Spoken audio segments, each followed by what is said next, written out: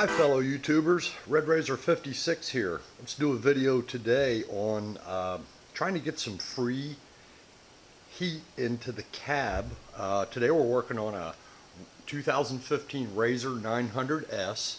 Uh, the same thing would apply to any year model of the two-seater XP1000s that have the cool little kind of innovative plate which falls out all the time but that's another story uh, in between the front passenger seats or on a four-seater it would be in between the rear passenger seats where you can pull this plate uh, and I need to correct myself on that. Uh, I'm not certain the 1000 four-seaters uh, have this plate in the rear. Let's just talk about the two-seaters today. This is the plate that you would pull out to get access to your oil check dipstick and your oil filter and of course you are checking your oil each time you ride or every two or three days right? Okay.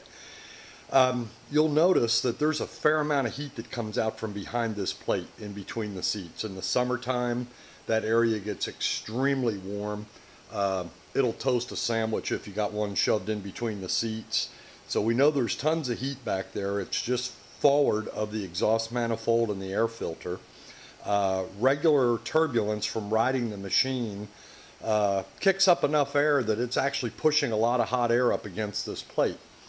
We don't ride in a really cold climate, uh, but it gets cold enough that the uh, full windshield and the full doors and even our aftermarket seat heaters that I've installed, it, it'd be nice just to have a little bit more heat, but I don't want to add all the plumbing and all the issues that go with an in-cab heater.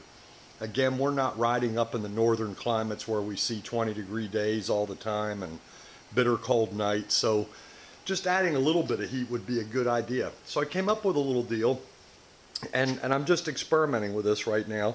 I took a piece of Lexan. You can see my hand fits through this. And what I've done is I've, I've made a frame and this is just some leftover Lexan or plexiglass, call it whatever you want, um, some scraps of it. And I've made a frame out of this the easiest way to cut plexiglass is with a circular saw or a table saw and a plywood blade.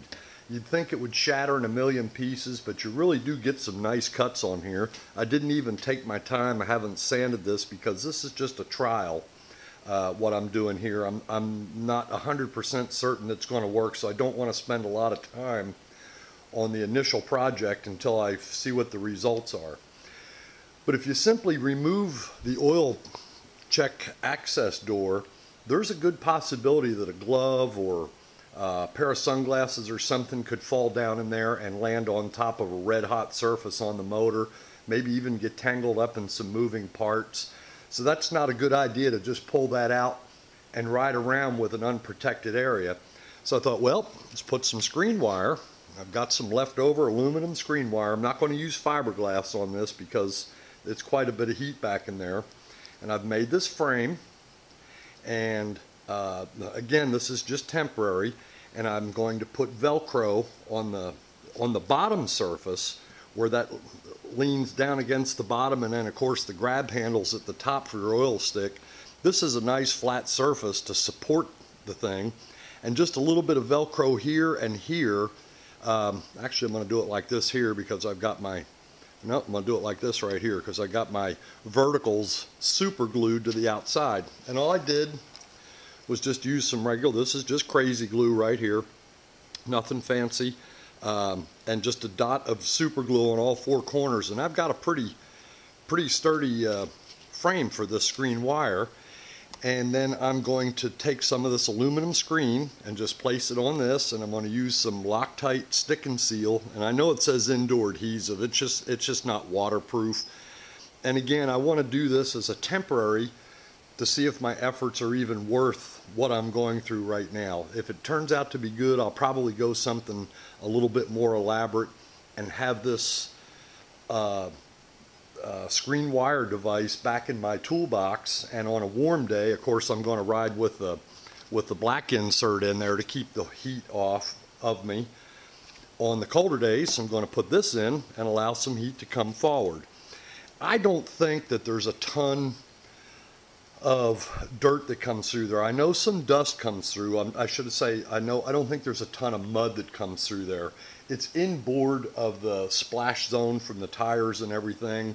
And I'm not saying that you couldn't get some water to enter through this screen wire right here, but generally speaking, we avoid water crossings in cold weather, and if we do cross them, they're very shallow, and we proceed across at a very low rate of speed. Um, just so we don't get ourselves wet and then of course then your day's over when you get wet and it's cold outside. So this is just a little trick and I'm going to keep you updated on this and see how it works. Um, let's uh, let's think about some new ideas on uh, the material right here because not everybody has fiberglass. Uh, aluminum is going to be a little harder to work with, but you know, again, with all these homemade projects with your Polaris, your RZR, your Ranger, whatever, use your head. Go up into your workshop. Look around for stuff that's laying around that you can repurpose into a new project. And uh, it makes it a lot of fun to, to, to, personalize your machine. We're going to try to get some free, hot, free heat out of this thing.